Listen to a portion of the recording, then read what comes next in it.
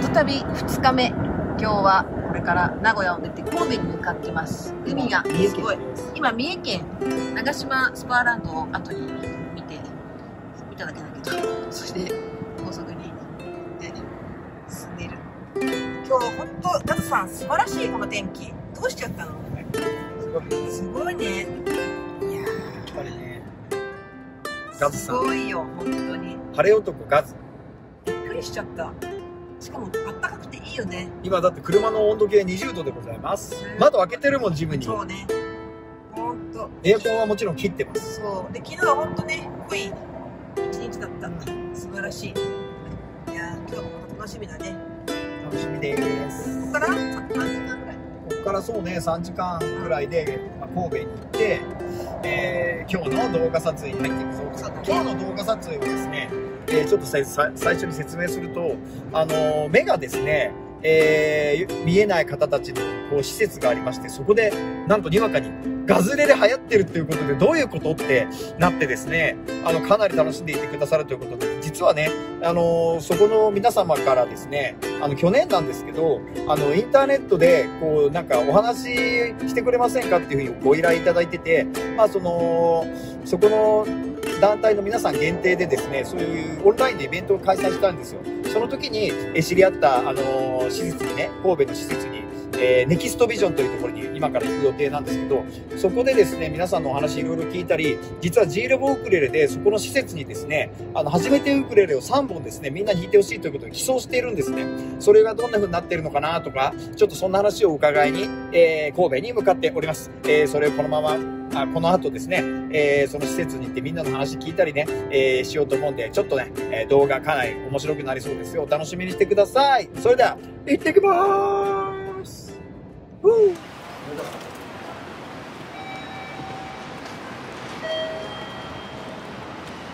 到着しました今日の春旅春の夏旅第2の目的地ここでございます神戸アイセンターこのネキストビジョンというところの方にこれからちょっとお会いしてそのウクレレのこととか、えー目がちょっと不自由な方のウクレレについてちょっとねトークをしてやはりいろいろセッションしてみようと思います。それでは入ってみましょう。はいそういうわけで今ね、えー、とネキストビジョンのスペースに今入ってきたんですけどとんでもないかっこいいおしゃれスポットでございますねすごいちょっとここまあ一応病院なんでマスクしてね消毒して。ここがなんかロビーになっててすごいねえーご紹介します。山田さんです。ネキネキストビジョンというところの施設の方でいらっしゃいまして山田さんから、えー、と去年の7月。2022年の7月にあとメールをいただきましてあのどういうここのそう突然メールでここってどういう場所なのかちょっとし最初に皆さん知らないんだよねそうですよね。ここはビジョンパークという場所なんですけれども、実はこの奥には病院があるんですよ。病院の手前にこのビジョンパークという公園すがあって、ごいよこれ。見てあの後ろのあそこなんかあれでしょ？クライミングできるやつで。それをこういうなんかすごいなんかおしゃれだしねポップだしすごい場所ですね。で見てもらうと分かるんです。バリアがいっぱいあるんです階段とか、あーわざとね。なるほどあそういうこと。こういうものだなぜビジョンパークしかもこんなバリアアリーナっていうところなんですけども、はい。ここあの見えない見えにくい方もたくさん来られるんですけどねその方々のためにバリアフリーフルフラットにして場所を提供していても外に出たらバリアっていいまあそうですよね。もうそう一歩出たらバリアだらけですだっねたらこの中で私たちがいるところにバリアを体験してもらおう。そしてどうやったら安全に歩けるか動けるかを知ってもらおうして見える方はうん。バリアがどんなものかっていうのを知ってもらってなるほど。バリアイコール悪者っていうんじゃなくて、うんうんうんうん。みんなで一緒にバリアを乗り越える方法を考えましょう、そうですね。理由もなくバリアってないですからね。何か理由があって階段があったりね。せせき止めるものがあったりしてるわけです必要だからあるものをなんか全部悪者って言っちゃうと、そうですね。あの視覚障害の方にとっても点字ブロック必要じゃないですか、はいはいはいでもそれが邪魔だっていう方もいます、ね、ああそりゃそうですよね。はい。台車を動かすとかね。そうそうそうなんですよ。あの視覚障害っていうふうにまあ聞くんですけど、その僕もちょっとね全然わかんなくてあれで全部見えないとかそういう感じなんですか？その全く見えない方も方もいればちょっとぼんやりあるしそうそうさまざまな方があー。視野が狭い方もいろいろやいあるんですね、はい。そういう方がここに集ってこう何かこうアクティビティをすると。うんそこによじ登ったり。何か一つでも楽しみうを見つけうんまあ、そんな施設をやってるネキストビジョンさんから連絡をいただいて何かと思ったらなんだかあのそういう方たちがですね目にねちょっと障障害がおありになる方たちがびっくりすることにガズレレをすごい楽しんでいてくださるのでなんかその方たちに向けてお話ししてくれないですかって話が来てですね。なんだそれはと。目が見えないのに、まあ、見えないあるいはちょっとね不自由なのにどうやってやるんだろうとかで楽譜とか見れるのかなとか、まあ、思うわけですね。そういうの興味津々で、まあそのまあ、インターネットでやった講講演会みたいなのが行われたんですよ実は。そしたらすごい参加人数でねなんかいっぱい声かけていただいてもう100に150人とかいましたいました。なんか 100, 100人200人ぐらいのオンラインの参加者の方いてくださって。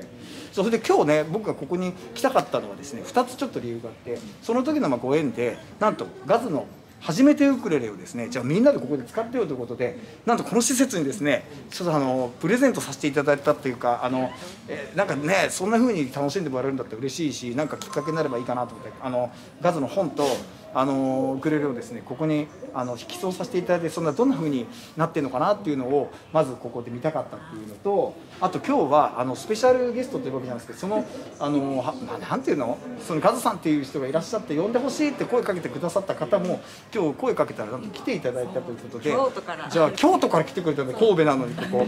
じゃあどうぞちょっとこちらに見えます？もうちょっと前ですよ。はい。この辺でいいですか。もうちょっと前です。はい。はい。そこでそこで。ぐるぐるっと回してはいはいありがとうございます、はい。そうですはい、そうです。どうもこんにちこはんにちは。お名前をね教えてください。はい、京都から来ました石川よしこです。石川さん。石川さんがガズレレに気気づいてくれたっていうかすごいですね。どうやってこのガズレレっていうのを知ったんですか？一番最初に気づいたのは私の愛するダーリン。あ今日もダーリンが。ダーリンも来てくださいせっかくですから。ダーリンが今日送ってる。ダーリンすいませんこんな突然。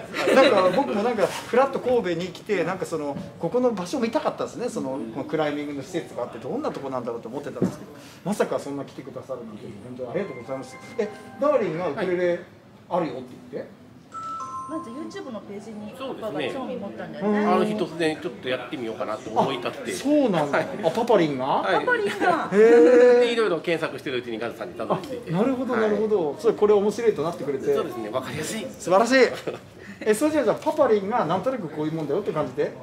いやもう最初やるの嫌がってたんです。えそうなの？絶対高木ブーって言われる。ああまあね。あウクレレってでもなぜかそういうちょっとねコメディのイメージがあるじゃないですか。もそうですね。そういうイメージが僕もねあ別に悪くはないと思うんですけどだからこそかっこいいって言われるんですよ高木ブーかと思ったらこんなこともできるんだみたいなね。そうでも気づいてくれてねそれはすごい良かったです。なんかあのでなんかそのこんなこと言うとすごい失礼なのかもしれないけどどうやってねこう覚えていったのかなと思うわけで見えないし。やっぱ旦那さんのあのやっぱりこうレクチャーと一緒になんか見て聞いてみたいな感じ？基本的にはえっと。私はそのなんとなく耳で聞いてこの音かなっていうのが想像できるんだけどうん。だけどあのもともとはピアノしかやってなかったのでピアノやられてたんですか？うん、でももう子供の頃で全然離れてます。でまずコードっていう考え方が私の中にあ一切ないので。あのねそうバイエルとかやってる方はコードとかないんですよ、ない。メロディーがね。なので C って何？の世界からだったから。確かにそうなんですでとりあえずその CFAmG7、うんうんうん。この4つをまず覚えようってとこでまずパパに C は一あ弦の、ちょっと待ってちょっとさ立ってると疲れる。座ろ うかここ座りましょうせっかくですから。そこでいいですね。うん。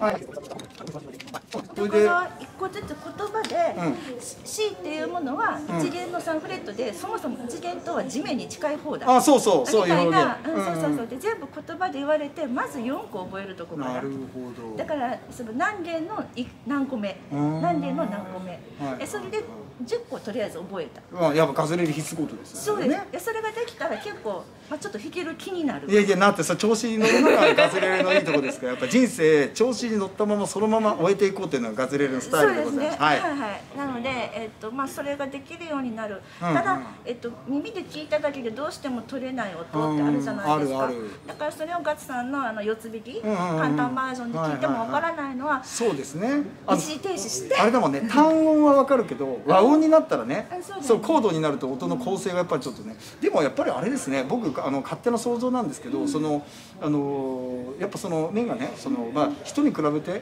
というかまあまあ、まあ、そう視力が、まあまあ、ないというかだとそのそういう以外の能力がさきっと伸びてると思うんですよね、ただ僕が持ってない能力を持ってると思うんですよ。だからそれはね間違いないと思います。やっぱりそれはやっぱりあのこっちがへこんだり出出るだけじゃなくてこっちがちゃんと伸びてるっていうのがもうすごい分かるしあの実はですねあの他のところでもその全盲の方がガズレレすごい楽しんでる方結構いらっしゃってですね。僕もそういう方に最初に会った時にびっくりしちゃったんですけどなんかねなんだか知らないけど楽しくできてますって言ってたんですよその方も。だからどうして自分がそれが弾けるようになったのか分かんないけどっていうことなんですけどまあでもどっちにしてもそういう方に楽しんでもらえるっていうのはもう僕のこのガズレレ的にも大発見じゃないですかだって。ねえだってすごいですよ。ただそのやっぱ言葉で言われないと何もわからないのであー。カズさんが時々あの、必須コード10個以外の,、うん。あのあーはいはいはい。その時にそうか。こことここと確かに。ここそうだそうだ。言う時もあるけどね一元の何フレットとかね。言ってくれる時はないです。なるほどなるほど。ここが知りたくて。ああじゃあそれはちょっと気をつけて言った方がいいんだなそうパパが帰ってきたらここここああここ教えてほしいはどこ？となるほどな。るほど。でも位置はさこうなんとなく感覚で分かる覚えちゃうってことでしょ？このイメージでしょ？大体。G7 はなんか三三角形っつってもあれかあそうでも三角形ですよ。やっぱりそうですか、うん。うんでなで基本的には見てないし、うんカズさんも多分弾く時左手なんて見ないじゃない見ない見ない、うん、そうそうそう。それは一緒ですまあでもそれも慣れが必要ですからね。であとさそのよしこさんがあのーやっぱりご自身がすごい楽しまれている。これまずファーストステップだと思うんですけどその後なんとやっぱ周りに広げてくださってると。あはいこれが皆さん聞いてくださいよ。これこそがガズレレのパワーでございます。なんで僕が一人一人にこうやって向き合うんじゃなくてやっぱそのガズレレ面白いと思ってくれた人がそのそこでねまた広げていってくれるっていうのがこのガズレレのこれが素晴らしいところなんですよ。でこれがあるからガズレレって今 YouTube のチャンネル登録者の方が18万人っていう人数になっててその人一人一人に僕が教えているわけじゃもちろんないじゃないですか。で僕はあのやっぱりねもっともっと音楽を自分で楽しむ人を増やしたいっていうのを使命にしてますんであのやっぱりそういうところでそれぞれの方のその周りにいる方にこう笑顔に広げていくっていう活動は素晴らしいっつうかですねもうほら自分でもそれをややる時にいつも思うんですけど自分自身が楽しんでないと絶対に横には広がらないんですよね。自分がしんどいのにそのしんどい人が他の人に楽しみを与えような、まあ、絶対無理なんで、まあ、やっぱりそのそこはですねあのお話聞いてるとすごくなんかその、まあ、部活じゃないけどなんかこう仲間にこうレクチャーしてくださくださってるっていうかまあ、うん、なんかしてるっていうのはすげえすげえなと思っています、なんで今日もねその今日ネキストビジョンさん来てもらったんですけどなんかさっき来たばっかりの時にね「あのガズさんあの他にも教えてほしい人がいるんです」って言うそれはねいっぱいいるんですよ。なんだけどそれをねさ僕がっていうよりはやっぱそれの面白さに気づいた人が横にどんどん広げてくれた方がそのエネルギーがすごい伝わるんですよね。その誰かに勧められてこの人の見るとできますよって、ね、言うのもだけどやっぱ本人がもう本当に楽しいよって言ってくれるからね。そのそれをキャッチしてくれる人もなんかえー、そんなにっていう共感もあると思うしなんでもうまさにそのなんていうのかな今回そういうイベントでね。でそもそもそのネクストビジョンにガズレレさんの話をしてくれたのもねあのよしこさんでいらっしゃってくださってね。そのよしこさんがそのやっぱりそのそれこそなんていうのかなこう。その扉を開けてくれてそれがあるからねまあ山田さん。でも山田様もねそのガズレレっていう存在に気づいてくれてなんかこれはいいぞって思ってくれたようでございましてすごいこうその後熱いメッセージをいろいろやり取りしたんですけどね。い。やー素晴らしいです。ありがとうございます。はい。なんかそしてあのーまあせっかく来ていただいたんでなんかたいこととかなんかあの音出していいんですかここ？あじゃあちょっとそれなんかセッションしましょうそしてちょっとウクレレがさどんな風に置いてあるのかちょっと見たいな。はいそういうわけでですねこのネキストビジョンさんのこのスペースにねあのー G ラボとガズレレがですねこうプレゼントしてみんな弾いてねっていう風に、えープレゼントしたウクレレがこれらしい。これなんですこんな風に置いてあって誰でも手に取れるようになってるんですよね。で気になった人がいたらなんかあのや山田さんももう少しこう弾き弾いてね3つのコード。ちょっと見てください山田さんもそのウクレレを。このものすごくポップなウクレレでですね。で、まあ、まずね最初のコードを来てくださった方興味持ってくださった方に、まあ、教えていただいてということでこれがなんかもしねそうそういう人たちに楽しむ楽しんでいただけてるんだったらすごく最高だなと思うわけでございますいいですね。は始めてウクレレいいですね。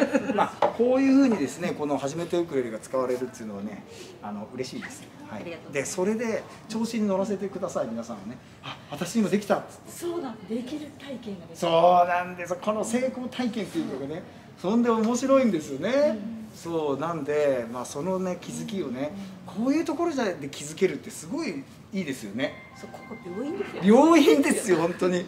いやいやいや。そこに来てさらに興味を持った方は、えっとまあ、よしこさんに来ていただいたたまには来ていただいたりとかそんなことで、まあ、もっとこうみんなでワイワイできるとか。でも本当音ってね目見えるとか見えないとか関係ないですよね。もうフィールフィールドントシンクフィールですからね。もうそうそう。でこれはあのいあの山さんのよしこさんもそうなんだけどもあのあれなんですよ。結局あんまり上手い人が教えちゃうとこれもまたねよくないの。あのねちょっと下手っぴーの方が私そうそうそうなの。だから僕もだから、まあ、ガズレレのガズさんってもうすごいやっぱ上手いんだけどやっぱそういう感じに出さないようにね。なんかもっとさこう楽しくやりたい。でシンプル簡単バージョンっていうやっぱそこのやっぱりこう楽しさっていうのはやっぱり僕もね大事にしてるっていうかその音楽っていうのはその腕自慢とかねそういうそういうなんか上手い下手自慢じゃなくてやっぱどんだけプレイできるかっていう音に楽しむって書くから音楽なんだからその辺をやっぱり本当革新の部分をやっぱりね掴み取ってほしいなと思って。でも俺ねそういうなんかすごくそうさっきも言ったけどその何かどこか別に目に限らずいろんなとこにそういうまあなんかそういうのがある方っていうのはどこかね絶対伸びるとこがあると思ってるんですよね。それがなんかもしかしたらそういう音楽でなんか気づきを得られるかもしれないしまあ素晴らしいなと思ってます。じゃあなんかなんかセッションしましょうか。僕せっかくだからこのわがままウクレレを使って初めてウクレレ使って。やろうかなちょっとセッションやる前にいつもよしこさんがどういうふうにその目がてちょっとあの見えにくいよとか見えない方にウクレレレッスンをしてるかっていうねなんかその様子をちょっと今シェアしていただけるということで生徒さん役で山田さんで先生役でよしこさんじゃあちょっとどんな感じなの僕もちょっと参考にしたいと思いますはい。じゃあ、その人ウクレレ触ったこともないっていう人にまずどこがどこかっていう場所の説明が大事ですよね。えー左手に来る側、こう細長い部首端になってるとこ、これがネックって言われる部分。ボディ。こう丸くなってくにゅくにゅってギターのボディと一緒ですね。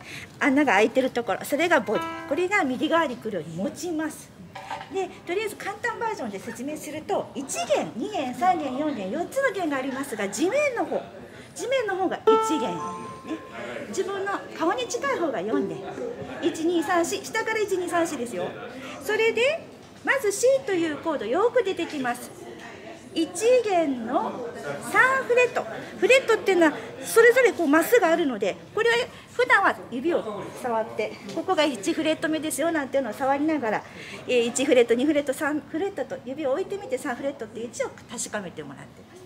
1弦の3フレット押さえてみる。ぐっと押さえて4弦から下1弦に向かってじゃーん。近子さんどうぞ。うん正解。正解。素晴らしい。やってみましょうキラキラ星。そういいですね。で大事なのはですねあの山田さんもねそんなあの上手じゃないっていうかそれは別に全然いいんですけど間違えても気にせずやるのが 大事です。得意です、はい、得意でしょ。気にしないの得意。僕もそれ分かってますから大丈夫です。せーの。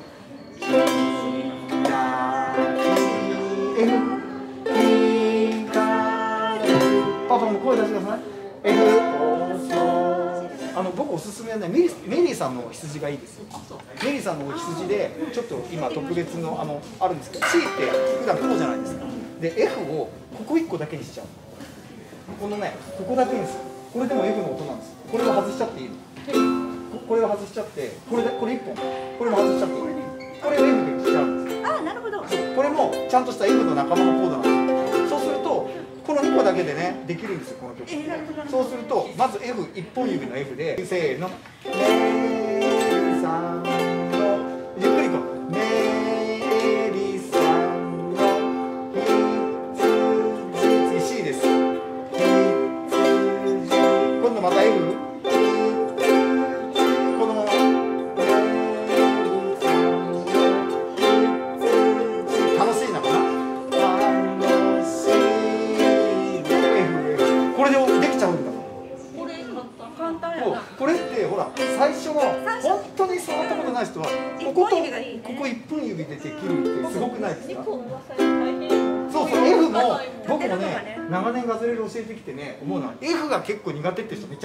ですよ。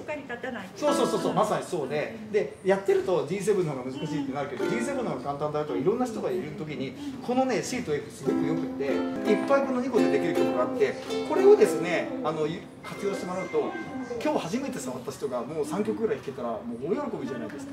でその次にじゃあ慣れてきたら F がみたいなやるとねやっぱりなるほど一本指ね。一本指で。一本指攻めてみますそう、それではい。2つ覚えりゃいいだけだから、ちょっとご参考にしていただいて、ありがとうございます。はい、それでやっぱりあの、まあ、こういうね、本当接点があってよかったと思うんですけど、こういう感じでですね、もう皆さんのこのコミュニティの中でね、一人一人笑顔が増えていくっていうのが、やっぱり一番世の中に笑顔を増やすもの最短の道だと思うんですよね。なんで広くこうバーッとというよりは、まず自分が楽しくなって、その次にそれをこう、それがこうコップの水が溢れてシェアされるような。なんかそんななんか音楽の広がり方とかね結局音楽の広がりっていうか、まあ、つまり笑顔がね広がってるわけですから音楽を自分でやるってだけでさどれだけやっぱ救われるかってやっぱ思いますからね。なんかそれを活用してもらうのもすごくあの素晴らしいと思うんであのぜひあの笑顔を広げていただいて今度第2のよしこさんみたいな方もねやっぱあのそうやってそ育てていってそれがみんな外れで見ればできるよって感じで。で最初の一歩をさ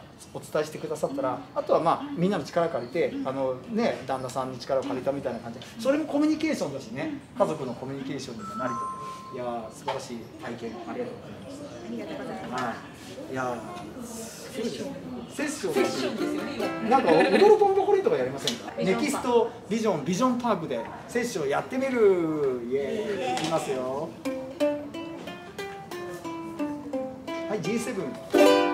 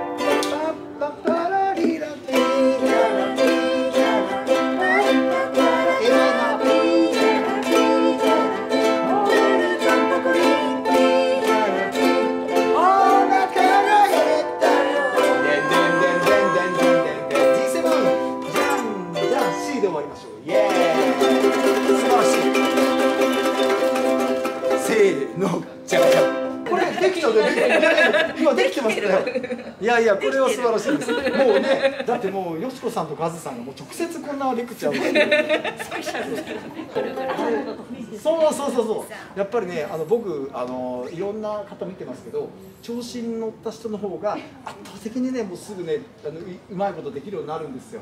でいや私なんてまだまだ弾けてないんですなんていう理由は全くないんでございますいやでもこんな風にこんな神戸でねまあでも全国にねもう全世界にいらっしゃるわけですから。なんかままずこの神戸をしあきっかけでそういうことがね起こっているっていうのを知ったんですけど、まあ、ここを拠点にですねまたこのまた全国にですねこういう動きがまた広がるといいかなと思いました。人生面白いことがあった方がいいに決まってますからね。そうだ。素晴らしいです。まあこの今ねこのネクストビジョンさんにあるこのウクレレもですねぜひ本当もっともうあのいつもねよしこさんここにいらっしゃるわけじゃないから。山田さんはいつもここにいらっしゃる。ね。なんでもしねこれ神戸界隈の方でねなんかそんなのあったらまた来てくださっていいのかな。来てください。来てくださいとのことなんで、はい、ウクレレあのここにあの山田先生もおられるんでね。僕先生に紹先介生、そうそうそう、いやいやもう、そりゃそうですよ。そうそうそうあのね、やっぱり C と F と G7 を抑えられたらもうバッチリですから。大丈夫です大丈夫大丈夫です。はい。そう今ね、ちょっとあの世間話をしてたらですねすごい面白い話があってやっぱ歌がねキーが合わない曲が多いからガズさん F とか G のあのコードの曲増やしてくれませんかって今のよしこさんから聞かれたんですけどまさかにめちゃくちゃいいタイミングがあってですねもう本当宣伝っぽくて申し訳ないんですけどあの今回今ですねあのガズレ G ラボのウクレレたちって今販売と予約を今スタートさせてるんですけどこの3月22日に発売するあのポイントから胃腸弦というやつが発売になってるんですよ。そうするとそれが弦を変えるんですけど要はあのその胃腸弦ではですねチューニングを変えるんですね。そうすると C を押さえてるんだけど鳴ってる音は F だぞっていうそういうチューニングになってるんで女性の方その胃腸弦を張ってくださればめちゃくちゃ気持ちよく歌えます。着やすくなる。そう。なんだけどやっぱねみんなとセッションする時にはチューニングが違うからなんだけどその一人で歌う時にはあだから女性の仲間同士でみんなで胃腸弦を張ればセッションもできます。ってぜひちょっとお試しいただいてまたご意見をあのくださいね。そうですね。いやよかった。あのぜひあのちょっとガズレレ公式ホームページで今販売してるんで、はい、外買で。ありがとうございます。いや今日僕も持ってきてればよかったんですけど、今日発売だったんでね。はい、それはじゃああのちょっとぜひ皆さんあの特にね女性の方、うちのハニーさんが今カメラ撮ってるんですけど、ハニーさんも F で歌ったらすごくあの歌いやすいですからね。これ一応ね F なんですね。F チューニングを F にす合わせるってことで、えじゃああの。この G ちゃんイエーじゃなくて、そのチューニング自体を変えるわけですからね、そうそうそこをあの説明文がちゃんと書いてあるついてるんですね。はい。QR コードであの動画にも接続されてますんで。なるほど。はい、ぜひあのやってみてください。はい、はい。挑戦してみます。はい、あの最後におまけけで、あの一応によろしくねということで、はい。ありがとうございま。す。そんなことで、今日は本当貴重な時間を皆さんいただきまして、あのーなんか思いのほかいいセッションになったと思います。このうまくうまくやろうとか言うじゃなくて、このなんかこう一緒にやろうよみたいな、気楽にやろうよみたいな。ありがとうございました。はい、じゃあ、あの、いつもね、こうガズレレこう見てくださってる方いっぱい見てるんでね、あの、バイバイしてください。ありがとうね、またみんな会いましょう。こんな風に。また来てねあ、楽しんでる方いっぱいいるよ。バイバイ。